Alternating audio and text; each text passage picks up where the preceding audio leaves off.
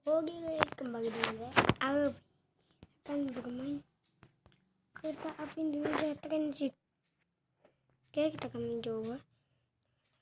Kita ke, eh, kita ke ini, ini apa sih? Oh ini map coy. Ini. Mana ya kereta? Ooh.